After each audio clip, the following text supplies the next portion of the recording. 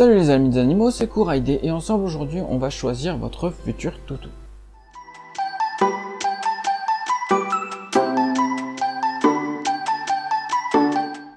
Les premières questions avant de faire son choix dans la multitude de races qui existent, c'est déjà 1.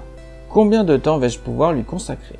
2. Quel espace je peux dégager pour lui en intérieur et ou en extérieur? Et 3. Ai-je suffisamment de moyens financiers pour l'accueillir et le contenter? Ces questions sont importantes car il y a bien trop d'animaux choisis sur un coup de tête qui finissent en refuge ou à l'abandon. Puis tués car finalement personne ne s'en est préoccupé. Oui, les animaux, même ceux qui sont seulement de compagnie, ne sont pas des meubles que l'on choisit pour faire joli mais bel et bien des êtres vivants dont vous tenez leur avenir et leur vie entre vos mains. C'est une grande responsabilité et quitte à me faire lyncher en commentaire, une responsabilité similaire à celle d'être parent.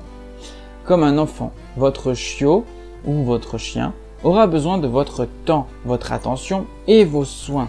Il apprendra de vous et évoluera en fonction de ce que vous lui aurez apporté et donné au quotidien.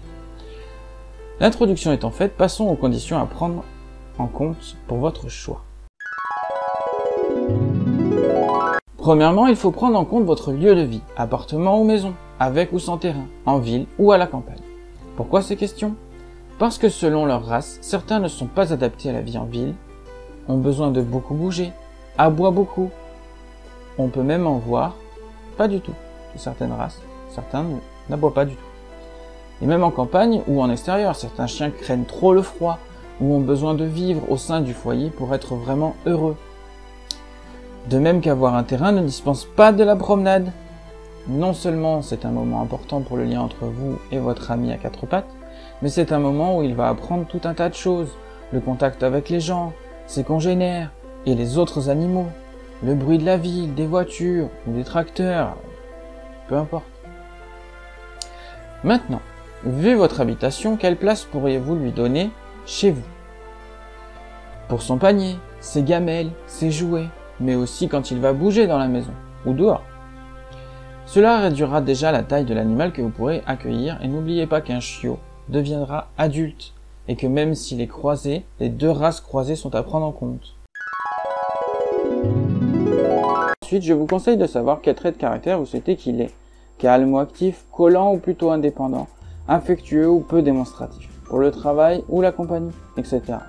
Je vous invite à aller sur mon site qui sera dans la description, où le caractère de chaque, de chaque race connue est détaillé afin de vous aider dans ce choix. Attention toutefois à ne pas renforcer ou accepter certains traits de caractère. Des chiens qui sont aboyeurs ne doivent pas forcément être acceptés comme tels, parce que sinon ils le feront toujours. En revanche, ce sera plus dur à l'éduquer qu'un chien qui n'aboie jamais, soyons clairs. Vient ensuite l'âge. Si vous souhaitez un chiot, il faudra tout lui apprendre et ne pas le prendre avant 2-3 mois. Si vous voulez reprendre un animal plus âgé, comme on en trouve bien souvent dans les refuges, ne vous focalisez pas sur leur nom. Un chien peut toujours changer de nom. Ensuite vient le lieu d'achat. Un éleveur pro sera toujours conseillé car ils connaissent leur métier et la race qu'ils élèvent d'une manière générale. Regardez tout de même les critiques possibles sur Google ou autres sites avant d'y aller, on a parfois de mauvaises surprises. Le particulier peut être un très bon choix. Regardez comment vivent les animaux chez eux et n'hésitez pas à leur poser des questions sur les parents du chiot. Quels traits de caractère ils ont, etc.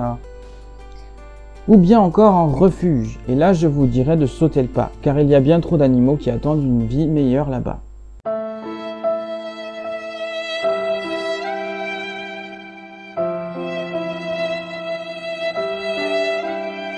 Il faut quand même se renseigner un maximum sur son passé et son caractère afin de savoir comment vous devez l'éduquer par la suite.